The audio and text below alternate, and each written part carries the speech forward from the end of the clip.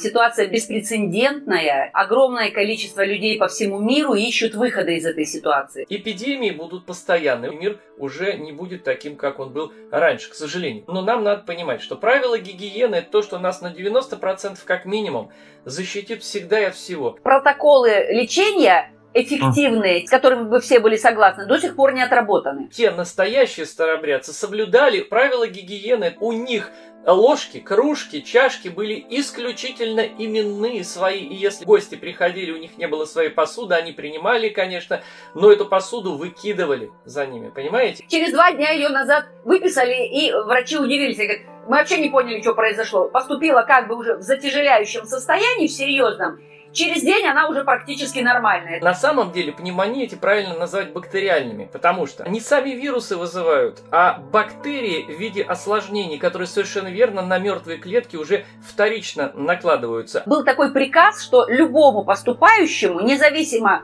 с травмой, с чем, давали первое, это магнезия сульфат. Вот прям это было до 60 э, какого-то года, это прямо было в приказе. То есть и в военной медицине это всегда было. Есть два способа повысить содержание кислорода в тканях.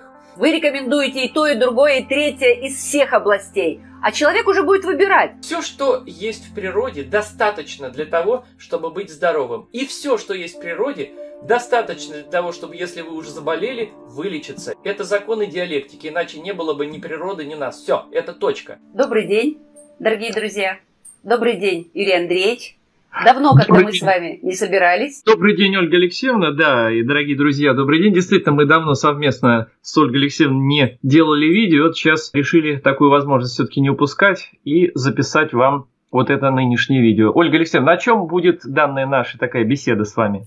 Э, давайте мы поговорим о текущей ситуации, потому что ситуация неоднозначная, а ситуация беспрецедентная, и огромное количество людей по всему миру ищут выхода из этой ситуации. И, безусловно, только то, что происходит в медицинской сфере, а, оно не, э, на 100% не сработает, потому что э, получилась такая ситуация, что как бы весь опыт многовековой, народный, он оказался выброшен из обоймы средств, которые помогают людям. Мне кажется, что это не совсем правильно. Потому что вирусы приходят, уходят. Понятно, что мы живем на планете вирусов. И э, всю жизнь люди сопротивлялись. И вдруг случилось что-то такое, что растеряны практически все. Понятно, что есть особенности. Вот мне хочется с вами, как э, с ведущим, ну, во-первых, э, сыроедом, с ведущим нутрициологом и с человеком, э, имеющим глубочайшие биологические знания, природные знания, все-таки поговорить о том, а может нам помочь природа в данном случае или нет? Потому что у нас в клетках есть генетическая память защиты от всего, что есть в мире. Но не может быть иначе, иначе бы мы вымерли еще, ну не знаю, сто веков назад. Вот как вы считаете? Я всегда говорил, что в начале, вот то, что некоторые религиозные люди говорят, что было слово в начале, то есть есть всегда информация. Информация первична. Мысль и информация. Есть некая матрица, по которой строятся все клетки нашего организма, то есть первично энергия, информация, и она воздействует на физиологию. Это совершенно верно. Но действительно в современном мире не хватает просто огромного количества людям питательных веществ. С чего складывается иммунитет? С наличием или отсутствием, соответственно, тех или иных питательных элементов. Наша пища современная бедна многими питательными веществами, в первую очередь микроэлементами – даже макроэлементами. Ну, вторично это уже витамины и другие компоненты омега-3, там ЭПК, ДГК, там, да, и некоторые витамины типа D3, B12, это тотальный дефицит сейчас у многих людей. Кстати, знаете, Ольга Алексеевна, что я заметил, я об этом хочу вообще отдельное видео сделать. Мне стали писать, я как-то случайно в одном своем видео обмолвился, и мне люди стали писать даже с Саудовской Аравии, ну, казалось бы, да, э, так сказать, с Калифорнии, США, там, да, где уж солнца, ну, ярче и сильнее нет что даже у них тотальный дефицит D3. Что-то происходит, и просто он, вне зависимости, где бы человек ни жил, не только на севере или где-то там в средней полосе России, а даже на югах и даже, вот как я уже сказал, в таких странах жарких, и то дефицит D3. Это вообще очень интересная тема, почему да как. Ну вот тоже вот такую тему. Да. Если мы еще возьмем общие, так сказать, эндемические состояния, ну, колоссальный недостаток йода, он прямо да. эндемичный, колоссальный недостаток цинка, колоссальный недостаток селена, то есть, а это ведь, по сути дела, главные иммунные факторы. А еще большой недостаток кремния. Это у всех и тотальный практически. Получается так, что врачи вроде бы говорят, что нам нужен крепкий иммунитет. Кто не заболеет? Вот э, есть такое мнение, что иммунитет, ну, если бы начертили такую стопроцентную численность людей, то 10% имеют врожденно уникальный иммунитет, которые никогда ничем не заболеют. 10% имеют э, иммунитет плохой, то есть они будут заболевать всякий раз, когда что-то приключится, неважно, вирус, бактерия, грибок, да. А вот 80% имеют такой иммунный статус, что все зависит от условий жизни. А что такое условия жизни? Это психологическое состояние, это эссенциальное питание, это гармония с природой, это способ и приготовления питательных веществ, потому что мы уничтожаем изначально все, что нам природа дала. Маринуем там, э, жарим, парим, СВЧ печи. То есть этого ведь никогда не было. Поэтому, естественно, вот дефицит не просто даже количество каких-то эссенциальных веществ, а их качество, их пространственных форм, их э, там ЛД комбинаций, вращающихся каких-то, это же молекулы, по сути дела, органических веществ. И получается, что мы никто этого не получаем. Японцы а, провели очень интересную работу. Они запустили большой компьютер, и задача была такая. Какое минимальное количество продуктов должен скушать человек в день, чтобы получить полноценное питание? Очень долго считали, несколько лет. Потому что все продукты туда в разных комбинациях были заложены. Оказалось 30. То есть что такое? Мы должны 30 продуктов питания в день съедать, и тогда в любых комбинациях будет полноценность. То есть мы съедаем максимум 5-6. Вот. Поэтому давайте сейчас обсудим проблему. У нас люди делятся на три группы, да? Первое, кто заболел. Кто умер, мы их не обсуждаем, Господи, спаси и сохрани их души, да? Потому что, ну, как бы погибнуть от вируса в расцвете лет, это, конечно, это ужасная история для близких, да? Вторая группа людей, кто заболел и выздоровел, но они выздоровели, но э, реабилитация должна продолжаться, потому что э, сдвинуты все биохимические показатели. Люди получили огромное количество медикаментов, антибиотиков, гормонов, различных токсических э, молекул, да? И третье – это люди, которые не заболели, либо перенесли очень легко, и носители, да?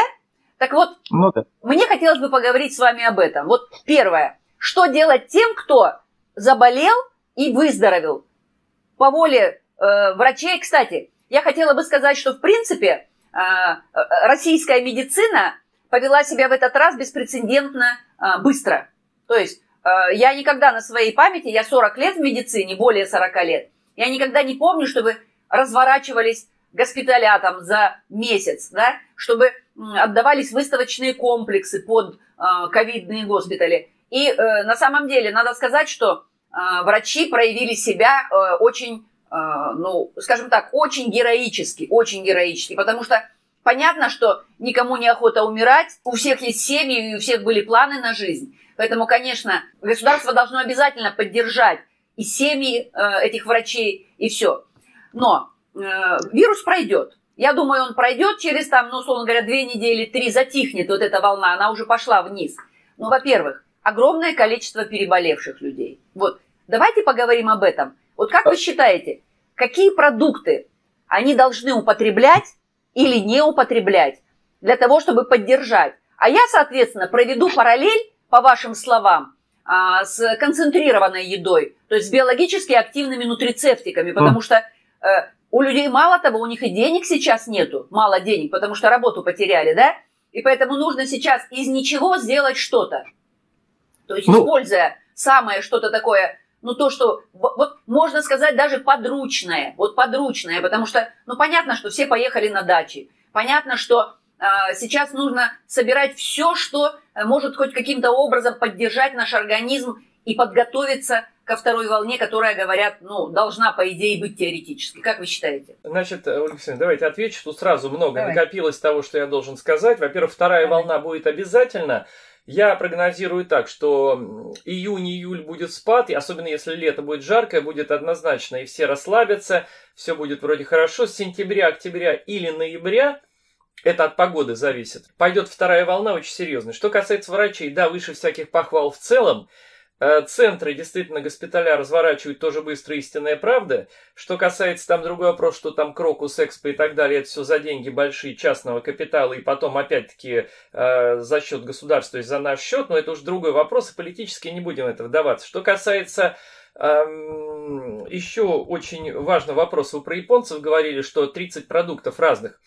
Тут еще есть нюанс такой, что и это давно было известно, что последние вот каждые 10 лет примерно есть такие исследования, измеряют на отдельных определенных тех же самых территориях выращенные те же самые продукты, как 10, 20, 100 лет назад, и количество микроэлементов снижается постоянно и везде. И вот это огромная беда, что многие элементы не вносятся в почву, не естественным, даже не искусственным путем, потому что это дорого там и экстенсивное использование сельского хозяйства современного типа не позволяет это сделать, а органического людей не хватает на Земле. Это беда всего мира в связи с этой проклятой глобализацией. Так вот, потому есть беда, дефицит, тотальный дефицит питательных веществ. Для наших зрителей я посоветую – кто еще не смотрел мое видео, если вы хотите с этим разобраться полностью, досконально понимать, в чем же здесь проблема и как эту проблему в глобальном плане, хотя бы в глобальном вы будете понимать, что требовать от правительства, там, от ваших, смотря стран, где вы живете, России или других, неважно.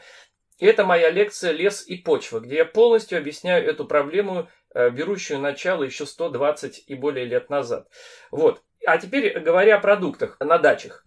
Действительно, э, есть много в зависимости от мест, где вы проживаете, дорогие друзья, есть места богатые, например, снытью, крапивой, лебедой, то есть теми продуктами, которые мы сейчас, к сожалению, продуктами не считаем, которые наши предки ели, даже были песни. Вот народный фольклор, вот, допустим, э, так сказать, были песни про лебеду, мою рассадушку посадила на берегу там и так далее, пойду в огород, сорву лебеды. Это вы думаете, э, радостно пели это от голода? Нет, это не радостно от голода пели, а потому что люди знали, насколько это полезная пища. Мы же сажаем укроп, петрушку, сельдерей и считаем это прекрасной полезной едой. Так почему же мы не считаем крапиву, лебеду, сныть и другие дикоросы, листья одуванчиков – это уникальные продукты, которые и природные антисептики, и которые действительно содержат в своем составе уникальные полезные вещества. Это и проростки, но ну, в первую очередь микрозелень, и верхушки проростков, любых верхушки, это безумно полезная всеми нутриентами пищи, и потому она, в общем-то, с этой точки зрения и дешево, и под ногами,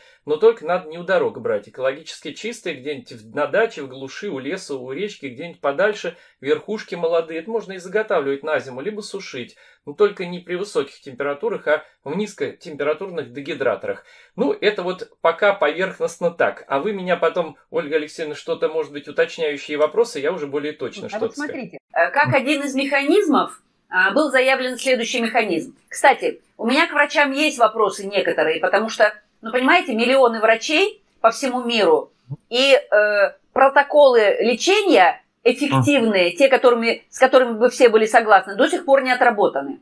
Угу. То есть э, все пробуют по-разному, но, э, скажем так, есть вопросы. Ольга, а можно я сейчас очень важный э, скажу вещь? Да, в интернете сейчас очень много можно найти разных, в том числе от врачей, методов. Вот есть такой, например, от одного врача, мне многие люди присылали, что там дышат именно водкой в марлю, такую вот э, смачивают постоянно, и поскольку вирусы от паров спирта, но, скажем, липидная их оболочка разрушается, это да, у меня, правда, возникает вопрос, липидные оболочки альвеол не разрушаются или бронхиольные ствола, но, в принципе, теоретически это ладно, может помогать, они приводят данные интересные, ладно, хорошо, не будем это советовать, просто как интерес, э, так вот ну, скажу. Что... Я ведь э, врач скорой помощи, да. и раньше кислородный аппарат мы давали обязательно через марлю, смоченную спиртом, раньше. Вот. Сейчас вот. это ушло, а раньше это было прямо э, положено по приказу. Знаете, кстати, к этой теме мы, может быть, знаете, я сейчас еще один пример расскажу из старой тоже медицины, а быть может, когда-то нашим зрителям это будет интересно вообще сделать отдельное видео о забытых тех приемах, методах, которые врачи в прошлого, еще не такого давно забытого, э, делали, и очень эффективно это было. Например, были случаи некоторых опухолей, когда брали врачи просто кровь, человека же, обкалывали ее, и получалась такая, фактически автолиз, да, получался автолиз, когда распадались ткани, в том числе вот этой опухоли. Были такие методы. Был метод, который Отто Варбург, еще дважды лауреат Нобелевской премии, описывал сто лет назад, что э, он с онкологами очень часто ну, работал, у него много друзей было, эту же тему тогда серьезно изучали, и когда поле операционное после успешной операции обрабатывали кустической содой, то есть сильной щелочью, то метастазов, как правило, не было. Потом это исключили из э, медицины, из обязательных э, вот, э, методов, приемов. Так что очень много тут тем интересных есть. Я, знаете, знаю, какой метод. Э, э, ну, так как я очень давно в медицине, и так как я изучала раньше, ага. будучи врачом скорой неотложной службы, да, тем более я была, работала в ставке главнокомандующего в Улан-Удэ, это очень серьезная служба. Э, было, был такой приказ, что любому поступающему, независимо с травмой, с чем, давали первое, это магнезия сульфат. Вот прямо, это было до 60 э, какого-то года, это прямо было в приказе. То есть и в военной медицине это всегда было.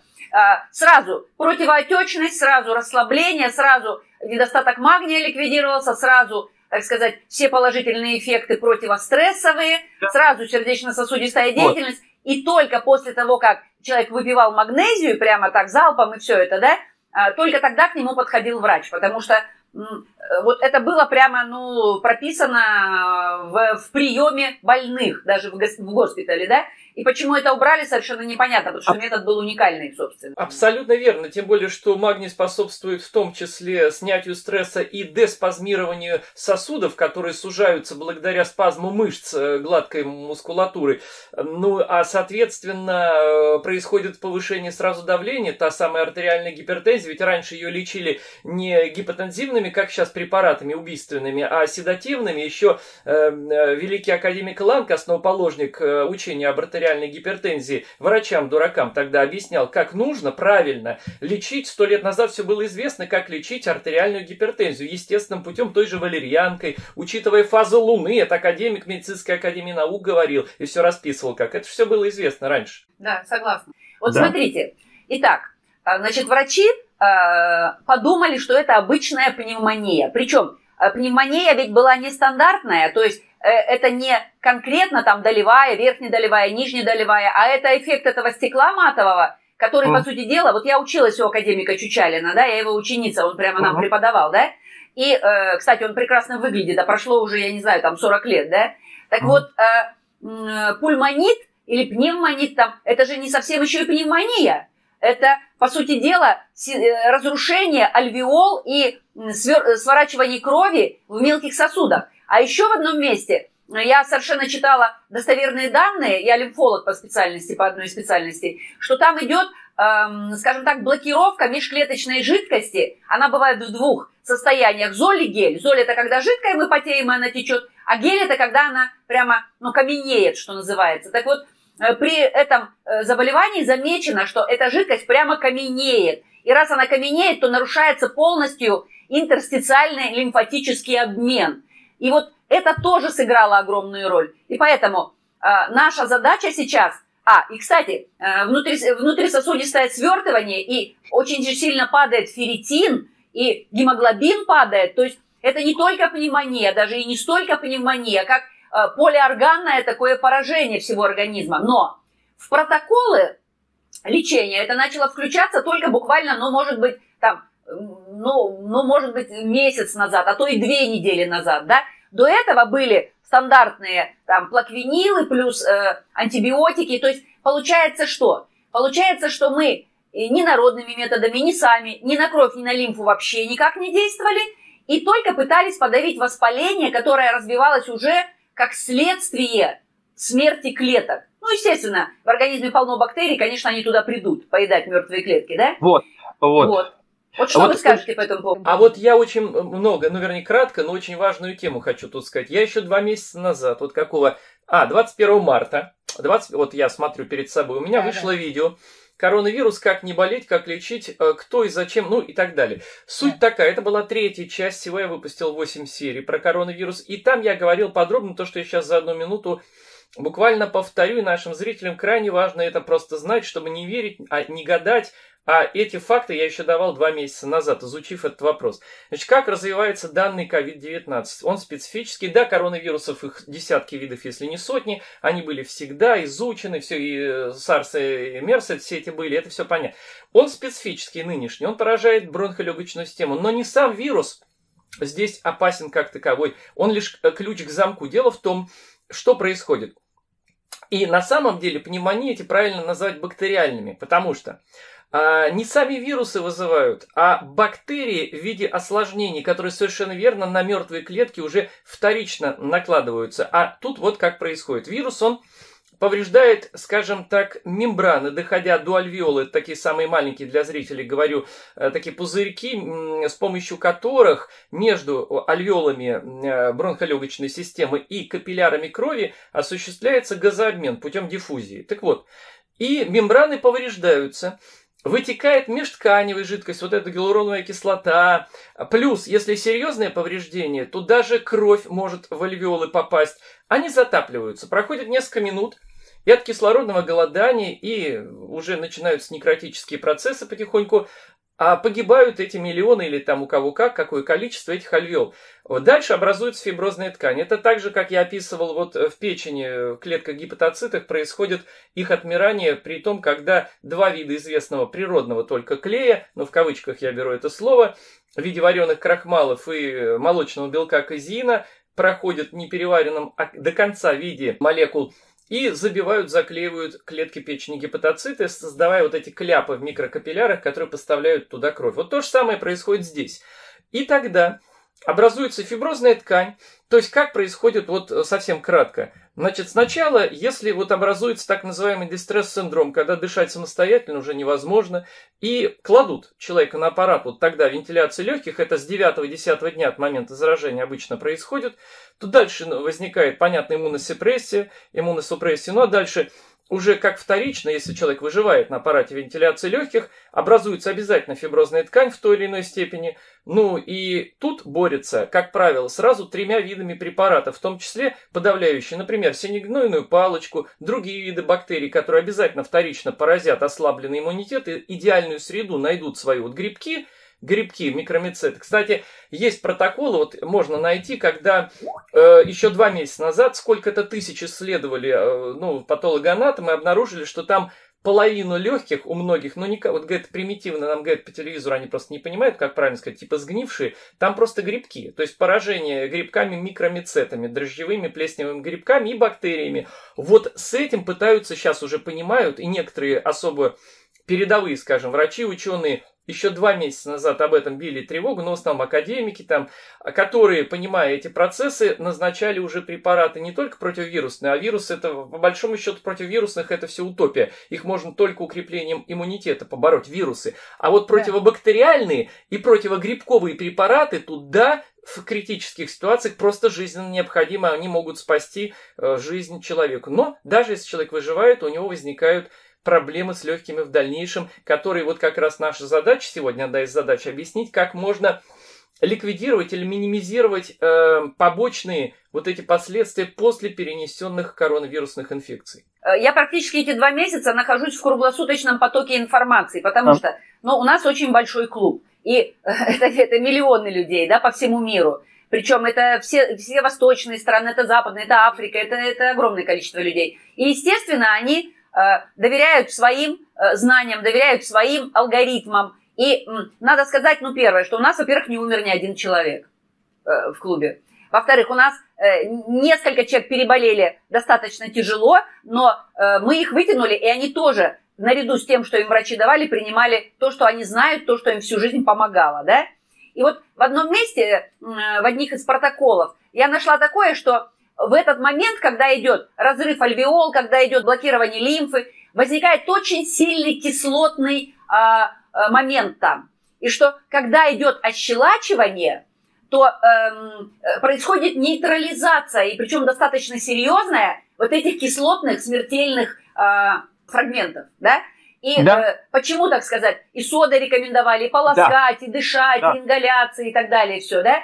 И Э, мы начали применять H500. У нас есть антиоксидант H-500. Это кремниевый антиоксидант, который содержит всю щелочную группу минералов, калий, магний, натрий и так далее, все, да, и который делает воду отрицательно заряженной и усиливает оксигенацию таким способом. Кислород же тоже, он передает электроны просто, да, он нам не как воздух нужен, а как передатчик электронов. И если люди принимали повышенную дозу, ну, допустим, в норме мы принимаем, принимаем там две капсулы, а люди принимали до 10, то наступало резкое улучшение.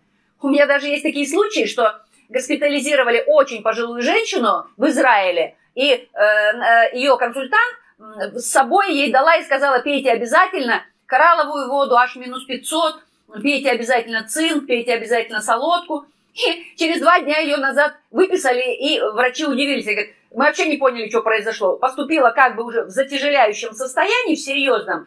Через день она уже практически нормальная. То есть что-то где-то так сложилось, ощелачивание, значит, э, оксигенация, э, значит, нейтрализация вот этих токсических веществ, лимфостимуляция. Да. И, и, э, и оно все как бы сложилось. Понимаете? И э, да. всегда, мне вот эти два месяца звонят практически каждые там 10 минут из разных стран. И э, не вопрос, что мы говорим, не ходите к врачам, вопрос, что к ним не попадешь, вопрос, что до них не дозвонишься, и вопрос, то, что за рубежом наших людей вообще не берут. То есть вот из Англии, из Италии, то есть у них ни одного шанса попасть в больницу вообще в принципе нету, потому что а у кого-то страховки неправильно оформлены, у кого-то что, да? Им приходилось выживать самостоятельно. И вот мы накопили огромный вот этот опыт выживания при невозможности тотальной попасть к врачу, и они очень даже успешно из этой ситуации вышли, вот что самое э, характерное. Вы знаете, Ольга Алексеевна, что я еще хочу важно сказать? Вот вы вначале сказали, а я про это не успел. Дело в том, что наша советская школа эпидемиологии вообще, она лучшая в мире, основоположник Э, борьбы с эпидемией во всем мире, собственно говоря, да, исторически так с 20-х, 30-х годов получилось. И потому еще живы и те, и школа жива в какой-то мере. И надеюсь, вот единственное, может быть, одно из немногих полезное, что можно вынести из этой эпидемии, это то, что теперь убрать те ошибки, либо преступную халатность, которую совершили многие чиновники, а закрытие очень многих э, институтов, лабораторий, скажем, э, инфекционных отделений, да, потому что сейчас вот жизнь показала, что если случись что, нужны экстренные меры, и то всем, кому могли бы, не помочь. Вот. А за границей большая проблема, мне многие об этом пишут, но, собственно говоря, у меня даже было интервью, одной из вот записей о коронавирусе, когда одна очень состоятельная, причем и дело тут вот как раз не в деньгах, женщина, но она прилетела из Англии, она попала тут значит, у нее случайно тесты не показывали, и потом только КТ показала, да, то, что вот, собственно, еще бы буквально день-два, и неизвестно, как бы жизнь ее сложилась дальше. Поэтому, а, это вот первое. Второе, про соду. Действительно, сода помогает, об этом, об этом многие уже говорили. Это правда, здесь я хочу предостеречь только о в том, что нужна сода химически чистая. У меня есть такое видео для наших зрителей, чтобы сейчас эту тему не развивать. Она так и называется «Сода». Будьте внимательны, под тем видео, дорогие друзья, есть подробное описание, почему наша сода, к сожалению, сейчас там чувашская, либо крымская и так далее, не химически чистая, получена не экологичным, скажем, способом, и там описано почему. То есть вы конкретно узнаете, какую же тогда надо пить. И соду действительно содовая вода утром месяц, скажем, курс приема, месяц перерыв стоит принимать. Теперь второй момент. Есть два способа повысить содержание кислорода в тканях. Первый способ, причем совместимы они оба между собой. Первый, известен еще давно. Есть, во-первых, специальные гимнастики, начиная от Бутенко там, до Стрельниковой.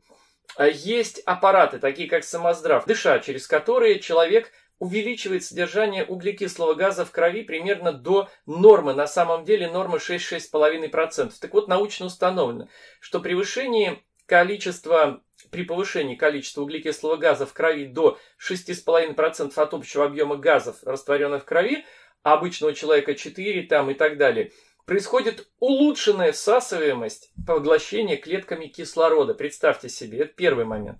И второй момент – это водородная вода или дыхание водородом. Дело в том, что избыточное количество молекулярного водорода, примерно до 1 э, мг растворенного в воде на литр, а, позволяет, а если тем более выше, 2, допустим, то можно меньше воды просто пить таких, такой и литра достаточно в день, если 2 мг на литр.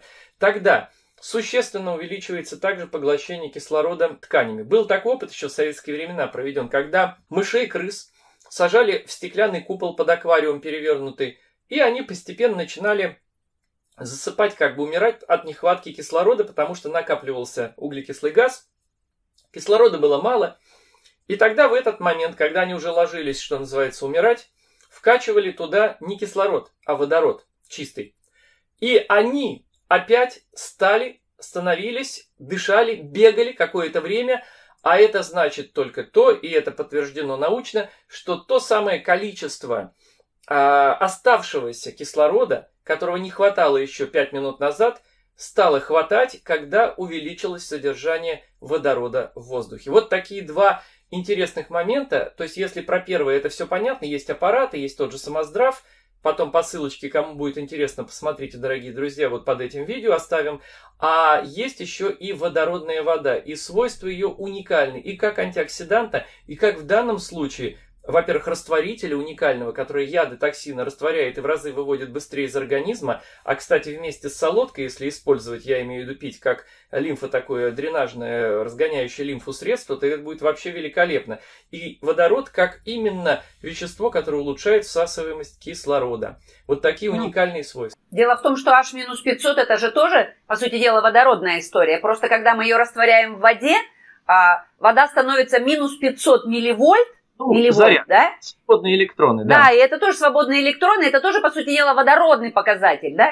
А, потому что э, на самом деле там работает водород с двумя электронами. Ну, то есть это как бы э, это такой флагманский продукт из порошковых, потому что одно дело, что э, у вас есть аппарат там или еще что-то. Я, кстати, не специалист по аппаратам и по э, прибамбасам различным. Я все-таки больше нутрициолог, да? Но угу. то, что капсулу H-500 можно выпивать от 1 до 10 в день, и то, да. что она мгновенно оказывает действие, вот это мы проверили. Э, если раньше я еще сомневалась, может быть, как-то на тяжелых каких-то да, случаях, то сейчас у нас э, колоссальная обратная связь именно по применению этого антиоксиданта. То есть mm. практически вот у нас один у нас очень хороший врач, кандидат медицинских наук, э, лежал в больнице, и когда я ему позвонила домой, ну, он еще не был в больнице, э, он начал говорить, я чувствую, он не дышит. Я говорю, ты почему не дышишь? Он говорит, что-то мне плоховато. Я говорю, быстро, чтобы через 5 минут скорую. И когда он поступил в больницу, у него уже было 55% поражения легких. Ну, молодой парень, 35 лет, красавец, да?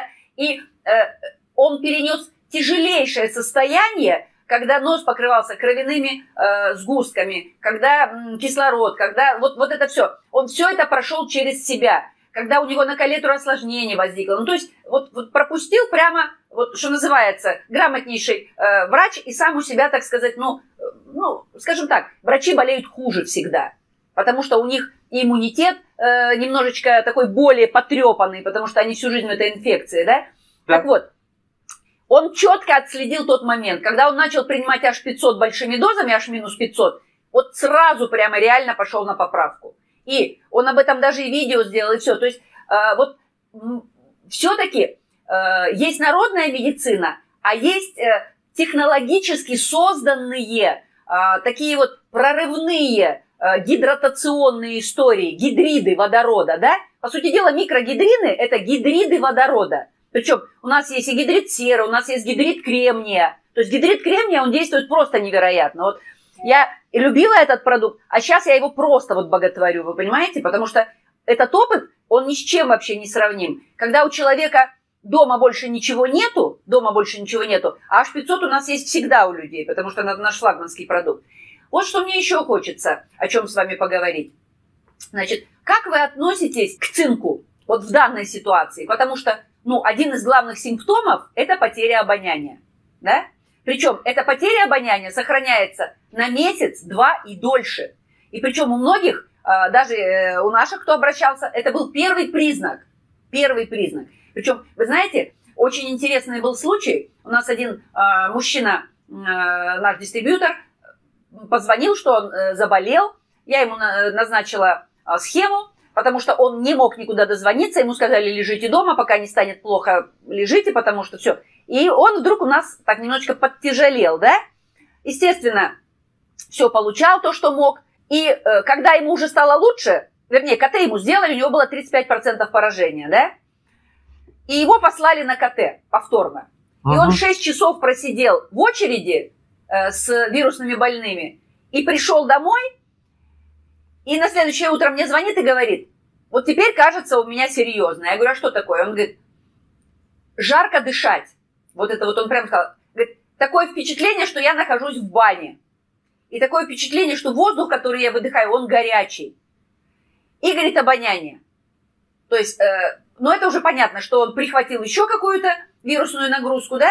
И здесь уже было все гораздо-гораздо ну, сложнее вытянуть да. его из этой ситуации. То есть вот цинк мы изначально э, использовали как восстановитель обоняния. И, кстати, это же основной иммунный фактор. То есть он в реакциях участвует в организме, в иммунных, во всяких.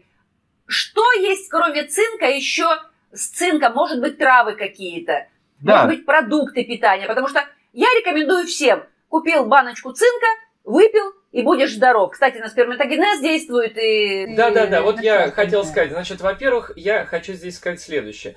Цинк и селен обязательно показаны тем, во-первых, действительно всем мужчинам, во-вторых, тем, у кого есть предрасположенность, либо уже есть э, какие-то, ну, скажем, простатит, либо аденома, это обязательно при любом виде лечения, даже при онкологии, не дай бог, данного типа, то необходим дополнительно в виде мономинералов и цинк отдельно, и селен принимать, причем даже можно двойные дозы принимать первый месяц, а потом уже обычные. Что касается продуктов, то богатый селеном, например, бразильский орех, опять-таки на каких почвах выращены, там в 20 раз может отличаться результат э, количества содержимого цинка по таблицам от нормативов. Э, это, конечно же, кокос, рекордсмен по селену из наших это чеснок.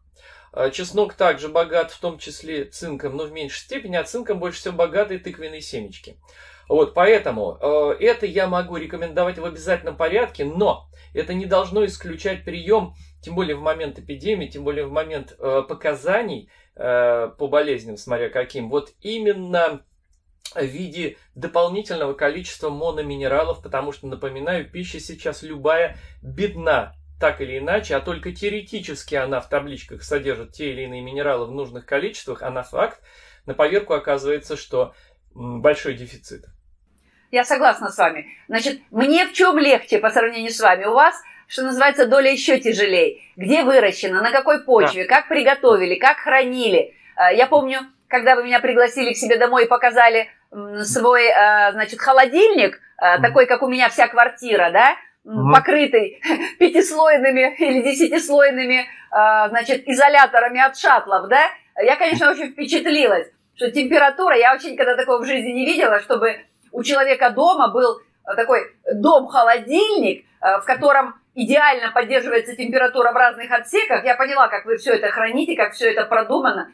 Честно да. говоря, это был, для меня это был шок. Это уже не считая дерева гинкобелоба в огороде, да, там и, и рыб, и, и карпов там э, в крапинку, да, с кружочками таких, э, которых вы вывели, да. Но вот, у меня этих проблем вообще нет, потому что я занимаюсь нутрицептиками. У меня есть баночки с цинком, с селеном, да. баночки с корой муравьиного дерева, баночки с чесноком в капсулах. Потом берете чеснок, кладете в суп, да, прям в тарелку, капсулу открываете, вытряхиваете. Ровно доза столько, сколько нужно. Ничего не перепутаешь, хранится годами. Поэтому, учитывая, что через меня проходят десятки тысяч людей, а, которые спрашивают, как сделать эффективнее, дешевле, то я все-таки сделала выбор в пользу биологически активных нутрицептиков, потому что я когда-то, я ведь проходила и диетологию, и гомеопатию, и фитотерапию, но понимая, как все неправильно растет, как все неправильно собирается, э, вы ведь точно знаете, как растить, где растить, сколько, когда собирать. Может быть, да. один день только можно в году собирать, да? И, Есть такое. Да, и получается, что э, как дозировать. Человеку говоришь, положить там одну десертную маленькую чайную ложечку, он кладет в столовую, получается передозировка, да? То есть фитонутрициология, так же как диетология, это невероятно емкая вещь. Емкая, да, поэтому нутрициологов мы 75 часов учим, а диетологов 555, потому что там все достаточно серьезно. Поэтому у меня идут схемы упрощенные.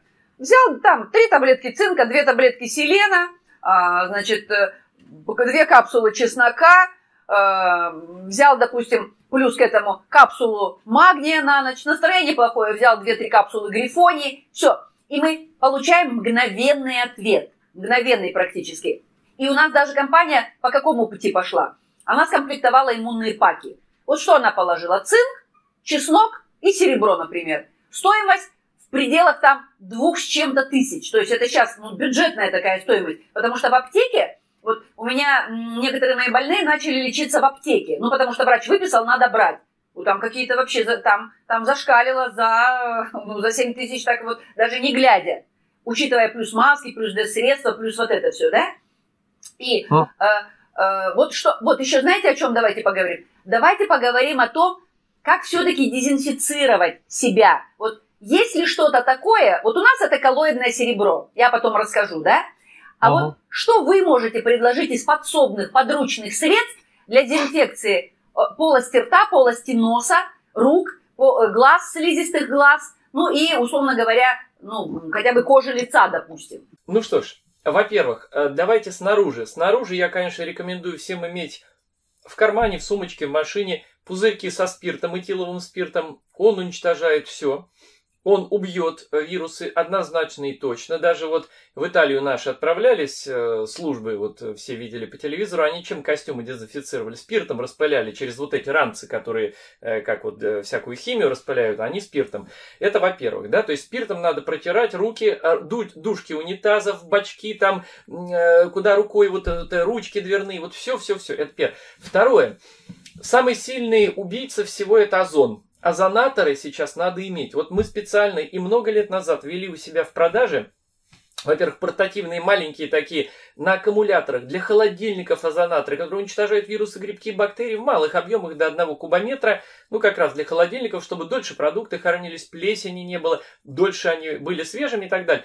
Можно в любую коробочку положить его, туда любые предметы, и он обеззаразит за несколько часов. Есть огромные мощные, всего 6 тысяч стоят, 500 или 600 миллиграмм в час озон вырабатывают. В 70-е и 80-е годы это был аппарат размер с большой стол. Так вот, у меня их берут, кстати, многие онкологи в э, медицинские учреждения. Так вот, суть в том, что квартиры, дачи, бани, подвалы, теплицы, все что угодно, тамбуры дома, санузлы обрабатывать только не находиться. Категорически в этот момент работы не находиться там, потом проветривать помещение, уничтожено будет не только то, что вы протерли, например, спиртом, а все, к чему воздух соприкоснулся. Вот воздух соприкоснулся со всеми предметами. На этих предметах будут уничтожены вирусы, грибки, бактерии. Это обязательно надо иметь в наши дни да всем людям. Это во-первых. Что касается внутри, вот вы сказали полость носа. Есть такой уникальный, например, вот мы говорим, если о наших продуктах, такой спрей на основе прополиса. Прополис это мощнейший природный антисептик, это побочный продукт пчелопродукции, да?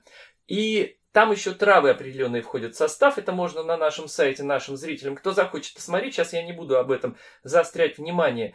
Ну и, конечно же, если вы попадаете в зону, где возможно заражение, помимо масок, что обязательно, которые плотно прилегают, респираторного типа лучше всего, э, э, можно вдруг кто-то чихнул, побрызгайте и э, в рот себе вот этим самым прополис на основе прополиса средством. Ну и Э, лучше, конечно, это я так уж общие рекомендации, воздержаться, не рисковать и держаться от людей подальше сейчас на расстоянии не полтора метра, как рекомендуют, а три. Это так. Вот, еще одну вещь скажу. Очень сильно укрепляют иммунитет э, так называемые экстракты, но тут есть нюансы, я сейчас поясню, из э, хвои пихты. Там есть вещества полипренолы, если они концентрированы и очищены, это мощнейший антиоксидант, это генератор синтеза витаминов естественным путем и так далее. У меня отдельное видео вообще про полипренолы и не только продукты, содержащие вот элементы отдельные в пихте. Я расскажу в отдельном видео, у меня такое будет скоро на канале. Но вот эти, потребляя продукты Т8 серии, это помимо, это никак не связано, это дополняет друг друга. Вот то, что Ольга Алексеевна говорит сейчас про селен, про корень солодки, про цинк, про H500, если вы этот вариант выберете, потому что всегда должна быть альтернатива, мы как бы с двух сторон вот говорим. Вот этот вариант... Мы, мы да. не соревнуемся, чтобы вам было понятно. Мы абсолютно, у нас полное взаимопонимание, да. Более того, да, кто-то купит того, коллоидное серебро, да. а кто-то будет пользоваться озонатором, потому что все зависит от, от преимуществ. Всегда выбор должен быть. Смотрите, озонатор это еще раз, это не противоречие. Коллоидное серебро это дополнение, это внутреннее потребление, совершенно верно, это противовирусное средство сильное, но если мы говорим о, э, так сказать, экологичном да, варианте э, антисептиков, все-таки вот с той химией, что там добавляют разные, не надо использовать, а вот этиловый спирт лучше всего. Он, кстати, продается, можно оптом набрать в Яндексе. Этиловый спирт чистый, медицинский, там, и вы найдете в канистрах, привозят домой с доставкой, так что вы найдете. Это не надо в аптеках искать, в магазинах, понятно, да, как? Вот, это во-первых. Потому что меня прям спрашивают, а где взять чистый спирт, как будто проблема. Мы вон десятками этими упаковок по 10 литров берем на разные цели, там настойки строчковые делаем, еще что-то. Нам нужен из пшеницы чистый, там 96,3, который, да. Вот, это первое. А, значит, озон все-таки это ничем не заменить, но в том смысле, что да, есть в, вот в, в магазинах, вернее, больше в детских учреждениях, в медицинских центрах, в операционных используют ультрафиолетовые лампы, да, это кварцевые лампы бактерицидные. Да, вот, это первое.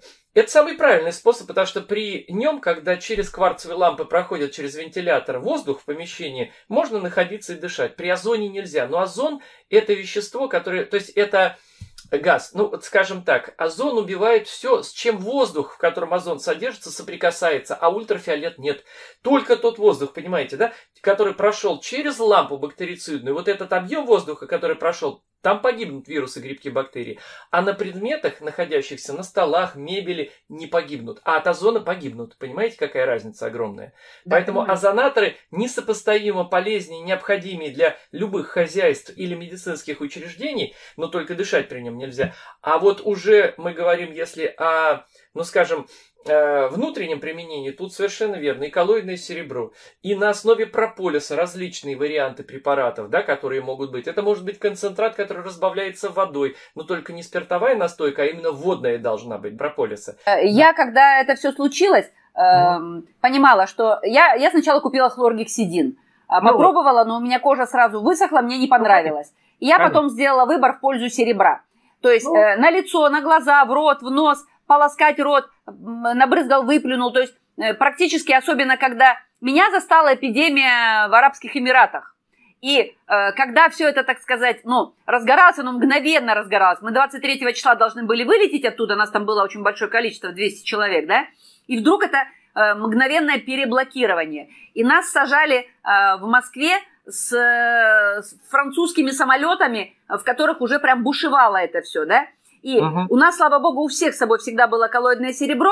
Мы каждые пять минут брызгали рот, нос, глаза, лицо, ну, волосы, руки. То есть у нас не заболел ни, за, ни один человек практически. И я позвонила профессору Домрачу, у меня есть э, друг очень хороший, э, он живет там в Красноярске, и спросила, вот на себя все понятно, у меня вопрос закрыт.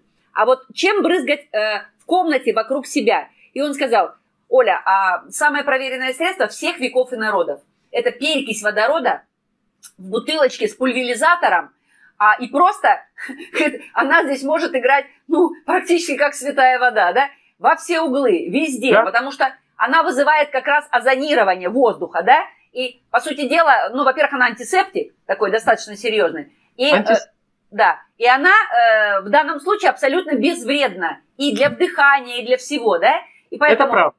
Я это сделала правда. большую бутылку пульверизатор, и пока все это было так серьезно, да, прямо ходила себе в рот серебром в глаза туда, э, значит, на руки. Э, очень, кстати, очень серьезное осложнение люди получили. Мне прямо присылали фотографии. Вот идут в магазин, делают дезинфекцию рук. Ну, потому что все магазины выставили какую-то байду такую, да? А, и ужас. руки покрываются язвами, прямо коростами. Совершенно Что они туда налили?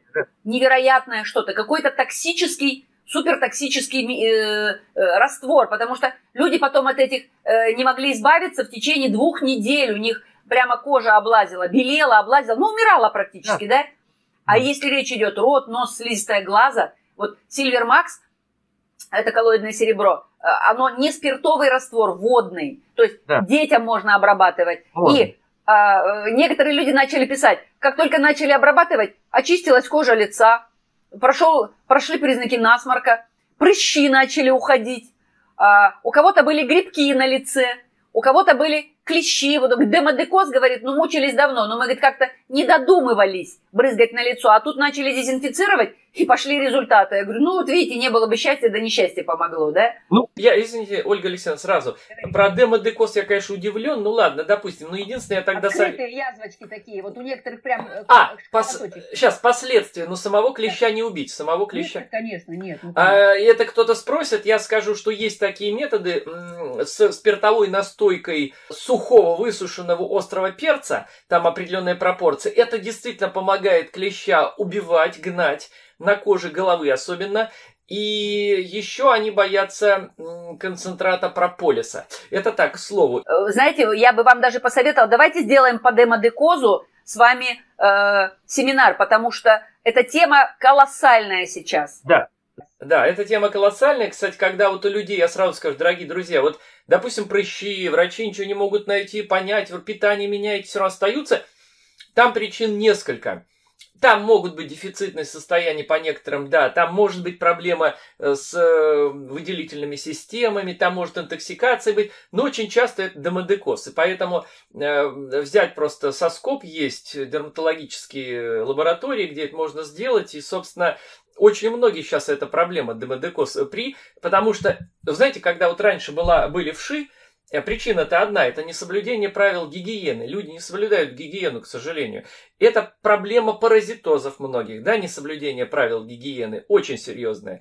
Незнание биологии. Вот поэтому я и говорю, я всегда говорил и 20-30 лет назад, что, дорогие друзья, самое главное в жизни, что вам надо, это знать биологию, хотя бы ее основы. Не то, что вы считаете нужным. Когда-то припечет, когда-то волшебной палочки не будет или специалиста какого-то рядом – и вы пожалеете, может быть, если, конечно, сообразите об этом, пожалеете, что вы плохо учили биологию. Это самое главное, что нам надо в жизни знать свой организм, как он устроен. Санитарию и гигиену тоже никто не отменял.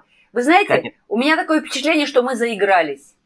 Вот э, нас Бог миловал, и на нашем веку не было серьезных пандемий. Ну, да. таких прям чумы холеры. Мы ее Чура, быстро подавили, Господи, да? да? И мы вообще, мы вообще офигели. То есть в мире никогда такого не было чтобы подходили, все со всеми целовались, обнимались, Это прижимались, пили одну из чашки, ели из одной ложки, одной ложкой, из одного стакана, из одного термоса. То есть это противопоказано, ну просто до, до, до строжайшего. Свое полотенце. Все передается. Вот. Сифилис бытовым путем передается, гонорея передается, все передается. То есть... Гепатит А и много чего да. еще. И, кстати, вы знаете, что старобрядцы, например, полностью те настоящие старобрядцы соблюдали у них ложки, кружки, чашки были исключительно именные свои, и если гости приходили, у них не было своей посуды, они принимали, конечно, но эту посуду выкидывали за ними, понимаете? Это вот тоже, казалось бы, там вроде религиозное, но это все э, совпадает с гигиеной, понимаете? И причем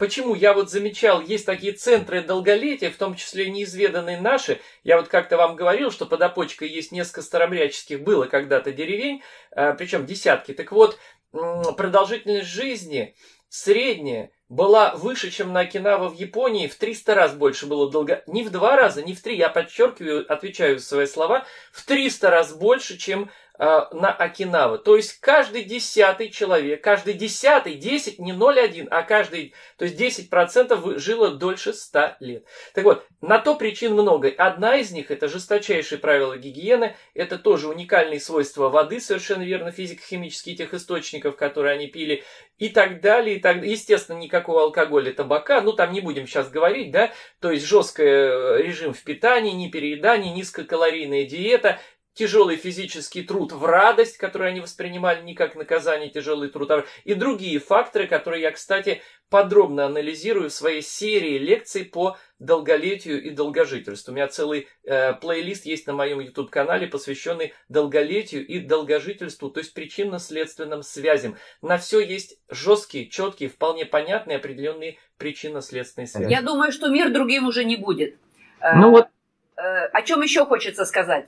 Вот смотрите, сейчас э, уже никто не будет обниматься, сейчас уже никто не будет целоваться, приближаться, все будут носить э, дезинфекторы уже до конца жизни, я думаю, да, масочки уже будут с собой всегда, чуть что в самолет сел, одевай, да, потому что мы ведь спокойно к этому относились. Один человек сел в самолет с гриппом, с обычным, с банальным инфлюенцией, да, все приехали, и все две недели кашляют, и вплоть до... А, кстати, умирали и раньше ведь от пневмонии. Это же э, история не такая, не новая, что прям раз и пневмонии не было никогда. Они всегда Конечно. были, да?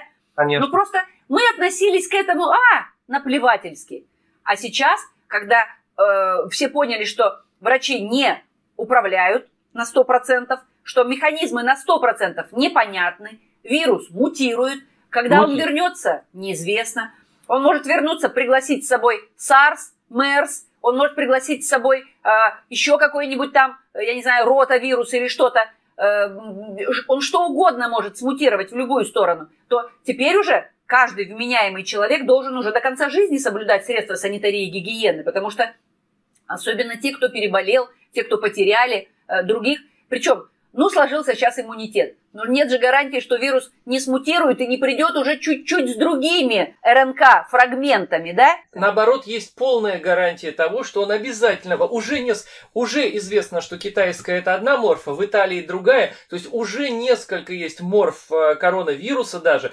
И все вирусы, коронавирусы, они всегда мутируют, возвращаются через какое-то количество лет уже. Вот SARS и MERS, они тоже коронавирусы, относятся к коронавирусам группы.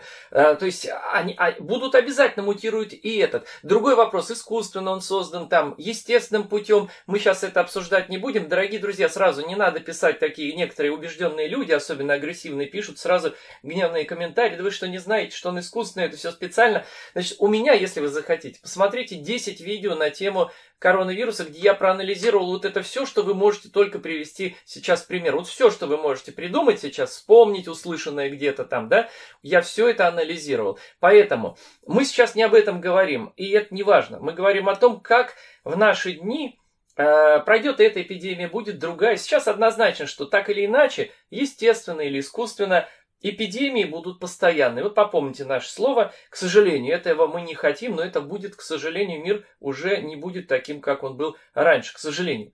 Человек изменил очень многое в жизни своей.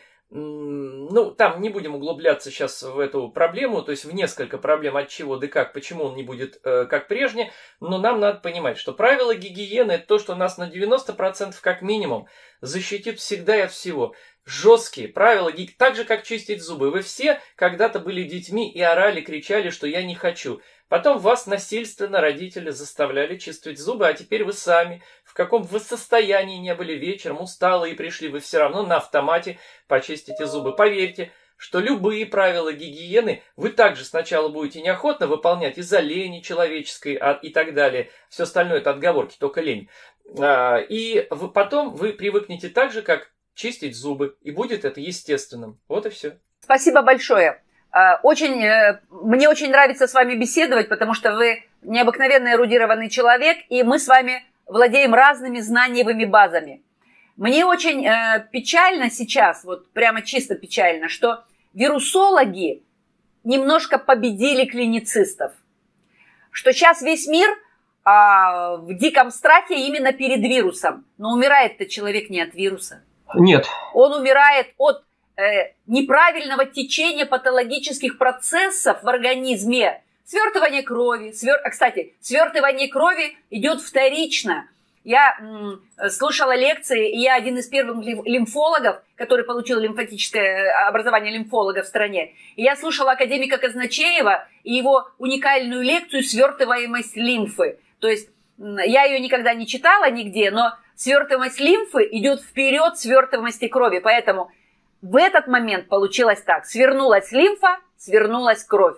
А у нас есть противосвертывающие факторы лимфы. Вот это очень интересно. Угу. И мне очень обидно, что не подключились вовремя патологоанатомы. Вот прям как должны были подключиться. Они человека должны были на молекулы разобрать и объяснить, какие механизмы задействованы в смерти. Да? Потому что человек умер не от пневмонии. Они умирали без температуры многие, да? Они да. Э, умерли все-таки от гипоксии вот этой вот. Да. И поэтому, э, да. конечно, хочется, чтобы люди, все, которые переболели, реабилитировались. Причем реабилитировались настолько, чтобы не возник ни фиброз, чтобы не возникла сердечная недостаточность, чтобы не возникли э, повреждения микробиоты кишечника антибиотиками и всякими плаквинилами, чтобы печень, которая пришла сейчас в состояние ну, серьезной э, такой медикаментозной травмы смогла выстоять. Поэтому, Юрий Андреевич, мне кажется, что нам сейчас с вами хотя бы раз в две недели надо встречаться и общаться, потому что огромное тысячи людей сейчас просят помощи, потому что они переболели, но они чувствуют себя плохо. У них слабость, у них вялость, у них потеря энергетики, у них тяжелейший стресс. Они были на краю жизни и смерти, у них депрессии, у них, по сути дела, изменилась картинка мира, и нужна коррекция всех органов и систем, и центральной нервной, эндокринной. И сейчас обязательно нужна э, серия лекций коррекция систем, функции систем. Повреждены да. почки, повреждена печень, да, да? да? и да. особенно пожилые люди, они будут э, снижать количество дней, которые им осталось, потому что не смогут провести правильную реабилитацию. А врачи, скорее всего, что в фазу реабилитации не пойдут. Потому что, ну, реабилитологов у нас, ну, как известно, не очень много, да? Поэтому э, давайте мы начали с этого вот фрагмента, э, сосредоточимся, подумаем и будем регулярно выходить в эфир. Вот, Ольга Александровна, я тут хочу дополнить вот что сказать. Даже приведя такой на практике пример из своей практики, если так можно за тавтологию извиняюсь сказать, вот, значит, суть такая. Вот когда мы говорим, я говорю, когда о проблемах с печенью, да, с печенью, чтобы регенерировать клетки печени, да, я, конечно, говорю о том, что в фунготерапии непревзойденный Э, скажем, препарат на основе гриба трутовика лиственничного, да, делают. Это мощнейшее гепатопротекторное средство, а из растительного мира, это из грибного, из растительного мира, конечно, это расторопша, которая, собственно, единственная и работает в тех средствах всяких корсилах и так далее, обычных, которые продают в аптеках, по сути, работает одно средство, это расторопша. Так вот, я всегда привожу и говорю так, что Наряду вот с этой программой, что я рекомендую, включите туда, например, препарат Фандетокс и Заферан из Кораллового клуба. А, объясняю, как их принимать и так далее. Вот почему встречи такие, я полагаю, совершенно с вами согласен, важны, что мы можем, обладая правильно разными знаниями, дополнить одно другим, чтобы это был эффект гораздо еще выше, чем просто по отдельности. Вот смотрите, э, я рекомендую БАДы, потому что я специалист. Вы рекомендуете и то, и другое, и третье из всех областей. А человек уже будет выбирать. У него да. всегда должно быть минимум три выбора. Кто-то пойдет сныть, собирать крапиву, лист смородины пить, лист малины. Кто-то возьмет H500. И все будут правы, все будут в выигрыше. Что бы человек ни делал, он все равно будет в выигрыше. Это так. И еще я бы хотел добавить, дать рекомендацию нашим зрителям вот какую. Дорогие друзья, я рекомендую, хотя бы если вы не на живом питании, хотя бы в период пандемии, хотя бы если вы не хотите серьезных последствий, не есть слизи выделяющих продуктов, а в первую очередь те, которые убивают легкие и печень.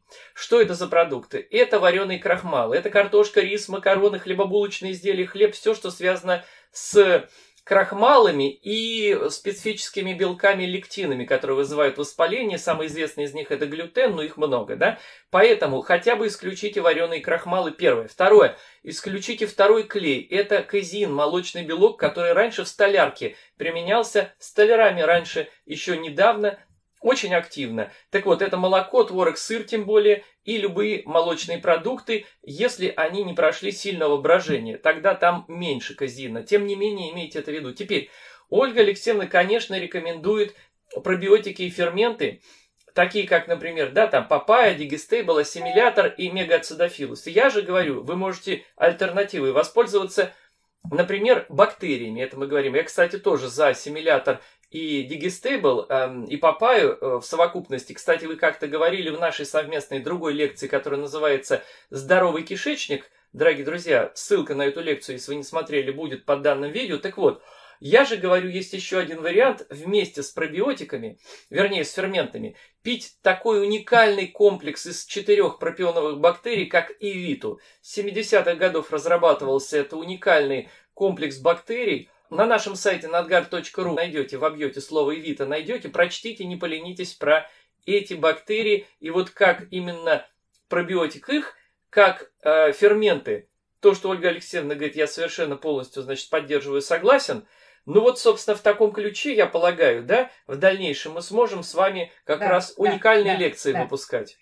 Спасибо вам огромное, Юрий Андреевич. Очень приятно, всегда очень приятно. Мы уже долго с вами сотрудничаем. Да, и да. Э, каждый человек имеет право быть здоровым, друзья мои. И поможет нам в этом природа, наш мозг адекватный и достижение э, науки, техники и биопрома нашего. Потому что у нас был в мире самый лучший биопром. И он остается. Но э, единственное, что форма, конечно, нас побеждает. Она нас да. побеждает. И да. чтобы мы э, не делали всего то, что мы вам рекомендуем, заплачены колоссальные деньги, миллиарды. Миллиарды Триллион. заплачены, чтобы мы этого не делали. Поэтому э, от природы нельзя отрекаться. От питания никуда мы не уйдем.